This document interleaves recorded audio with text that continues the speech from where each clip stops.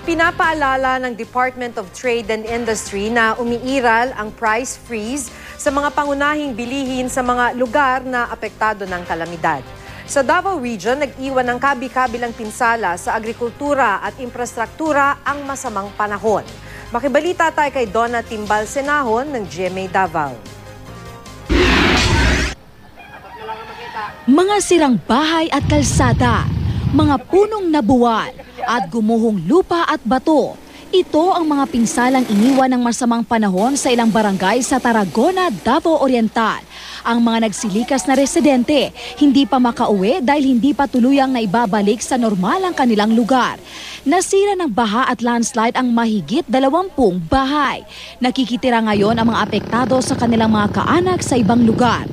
Ang ilan namang residente nananatili pa rin sa mga lugar na posibleng makaranas ng landslide. Sanay na raw kasi sila. Anad nami. Anad nami kay diya sa una na landslide gyapon nabangan namatay ato. Kami gabi naka-rescue ato. Dinala naman sa punerarya sa Mati City ang limang bangkay na nakuha mula sa gumuhong lupa sa Tarragona. Doon na kinuha ng kanilang mga kaanak ang mga labi. Sa huling tala ng Central Command Post ng Davao Oriental, umabot na sa walo ang namatay sa probinsya dahil sa pagbaha at pagguho ng lupa. Sa Tagum City, nailigtas ng mga mangingisda ang apat na lalaking natangay ng rumaragas ang baha. Napadpad sila sa dagat at kumapit na lang sa mga lumulutang na kawayan. Mausay man dapo sa mga ito nga pagkaon kaon na namo. Ah mga lubi nga baho. Kaon na mig pugos ang buong nga lata. Kaon na po namo. Ipinasuri na sa ospital ang mga nailigtas na lalaki.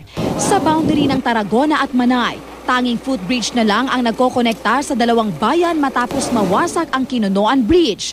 Maraming pasahero ang stranded sa lugar. Tulad ni Jonathan Bitco na galing Davao City at naghatid lang ng construction material sa bayan ng Manay. Hindi makadaan ang four-wheeler na minamaneho ni Jonathan. Apektado na rin ang kita ng mga habal-habal driver dahil sa walang tigil na pag-ulan.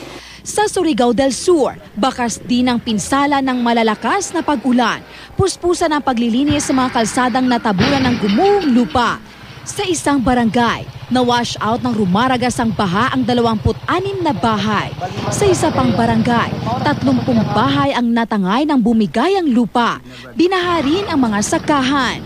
Ayon sa Department of Public Works and Highways Region 11, siyam na tulay ang nasira sa Davao Region.